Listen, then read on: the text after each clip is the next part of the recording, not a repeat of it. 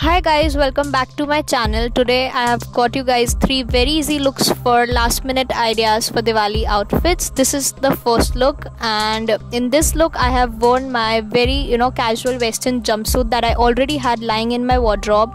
and I took a dupatta which was going with my jumpsuit from my mom's wardrobe and I paired it with this with some bangles and bindi and voila first look is ready now this is the second look and as you guys know i love pairing bindis with traditional outfit and this is the suit that i got from my mom's wardrobe. It's just a plain long kurti and it would definitely not fit me so i added a statement belt so that it looks good. And yes it's again very easy. Just take a kurti and add a belt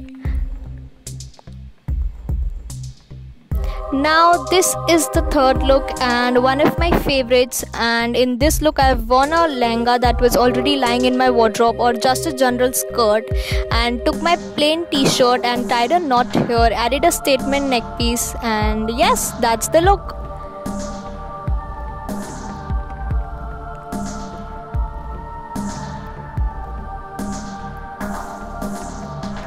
I hope you guys like this video and if you did please like share and subscribe